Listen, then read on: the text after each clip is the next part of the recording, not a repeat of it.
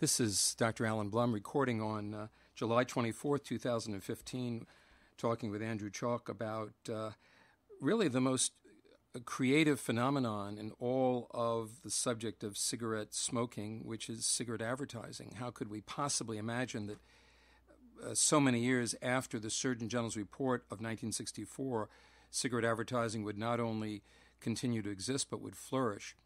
And I want to focus on England because there was a tremendously clever uh, era in British advertisements from the late 1980s through the 1990s that uh, really w- uh, enabled the advertising agencies and cigarette companies to circumvent any uh, regulations and legislation uh, that were restricting or banning cigarette advertisements. This largely came about because of the restrictions that the UK made against cigarette advertising, such as not being able to depict athletic prowess or glamour or beauty or fresh air or almost anything. As someone even remarked, even sunlight couldn't be shown.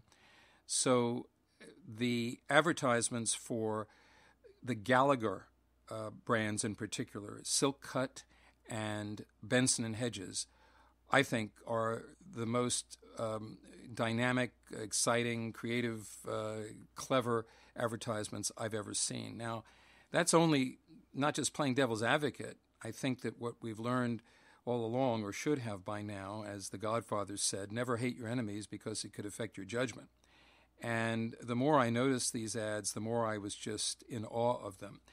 So, in the early 1990s, I went to London to. Uh, give a talk, and I looked up one of our former residents from Baylor, Mavis Jaworski, who was doing, um, uh, I, I, think, a, a, medical practice there. She moved over there with her husband.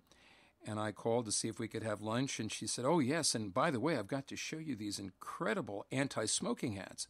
I said, Anti smoking ads? I, I, I, don't think I've seen any here. She says, Oh, yes, uh, let, me, let me show you. And we, when we got together, we, she looked up at a billboard which was um, of a well, as she said, oh, it's incredible. They've got this this big scissors cutting through this this uh, cloth, and and it's got this huge warning that that smoking is is uh, um, don't smoke when it can harm your baby, and it it can cause all sorts of diseases. And there are huge warning labels. And isn't that fantastic? I said, but Mavis, don't you understand what that ad is? She had not known because she's not British, that the scissors cutting through the piece of cloth was in fact silk, which was the cloth, being cut by a scissors. And these rebuses or these puzzles uh, extended for more than a decade as Silk Cut became the most creative advertising brand um, or, and brand of cigarettes uh, anywhere. So that every child would know what a Silk Cut cigarette ad looked like because it didn't look like an ad to any adult, certainly not to any adult who didn't smoke. So you'd see, for instance, a Volkswagen with a, uh, a German officer in the driver's seat, squunched in, this huge guy squunched in, and his, his helmet would be uh, pithing through the convertible top of the car. And of course, the, the, the convertible top was made out of silk, so silk cut and the warning would say smoking causes fatal diseases. And, that, in fact, that would be the only words you'd see. I think that um, uh, most of these ads didn't even show the pack. So you, you were seeing a puzzle, whether it was a, a cheese grater, there was a Wall Street Journal article that uh, was just in awe of these as well, uh, describing just a, a, cheese grater and, a, and some purple confetti like thing. And in fact, what it was was a cutting of this silk cloth with a cheese grater. And um, there were dozens and dozens of these, some that we're going to make available on the website. My favorite all time ad was for Benson and Hedges Lights, and Lights had distinguished itself from the regulars with the light blue pack color. So the advertisement in question showed the Egyptian uh, statue of Ramses sitting on the throne. And the only thing in the ad, apart from this sort of dark shadow of Ramses sitting on the throne, was alongside him was a roll of toilet paper in light blue. So it was indeed Ramses sitting on the throne. And the only words in the entire ad were smoking when pregnant harms your baby. So, to all practical purposes, uh, that's the only thing that you would see. Uh, and um, I'm sure a lot of people to this day think that these were anti smoking ads. Another favorite was um, one for Embassy that consisted uh, solely of a, um, a turtle. And um, the caption was, No unsightly pet hairs. And I, I even forget the copy, but the, uh, the ads were so clever that uh, you were just struck by these images. Perhaps the, the most cynical was one for Winston cigarettes, that the copy of which basically said that since we're not allowed to talk about Winston cigarettes, here's a stuffed aardvark. And that was the only image that you saw in the advertisement.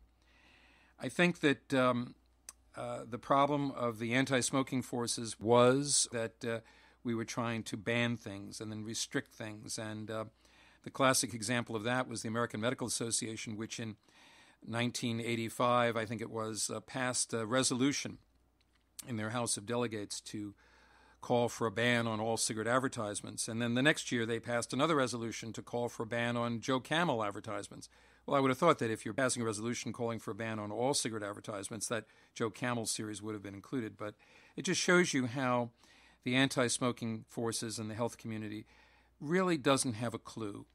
Uh, their jobs don't depend on there being a decline in cigarette smoking. In fact, the more smoking there is, the more jobs there are going to be in anti smoking. I should add, too, that Marlboro may well have been, as one would expect, the most successful uh, global brand, in part because as each country passed restrictions on cigarette advertisements, such as the first, I believe, was Norway in uh, the mid 1970s, um, both, uh, well, at that time, Camel uh, came out with a whole series of, of camel boots ads. They created a line of, of uh, leather boots that they would advertise since they could not advertise Camel cigarettes. And in France, uh, in, after a similar law was passed, uh, there were a whole line of Camel briquet or Camel cigarette lighters advertisements that were passed. But basically, Marlboro um, was establishing clothing stores with a line of Marlboro clothing throughout the world uh, Scandinavia, the rest of Europe, um, and the Far East. And these were high end incredible, um, uh, expensive uh, clothing. Um, Camel also did this, and in Kuala Lumpur, Malaysia, uh, it was beyond belief. One could go from the uh, Marlboro Classics clothing store to the Camel clothing store, which or Camel Adventure store, which whatever it was called, to the Kent Holiday Travel Agency, uh, sponsored by Kent Cigarettes to a bowling alley named after, I believe, also uh, Kent, and um, a, a, jewelry store, the Benson Hedges Jewelry Shop. So the, these were the ways that the cigarette companies uh, just simply didn't skip a beat by not only renaming the stores after brand name, but literally owning uh, these brands. So they, they literally established travel agencies in bowling alley and other venues uh, that they were actually selling products and certainly at least breaking even so that they continue to, to advertise the product. And uh, in England, the Marlboro ads were also effective and creative. They showed bleak countrysides that didn't have any writing and maybe just an old tumbleweed or an old picket fence or a, a, a skull of a, of a steer. And you knew what that was, even though the only prose on the page was the very bold cigarette warning.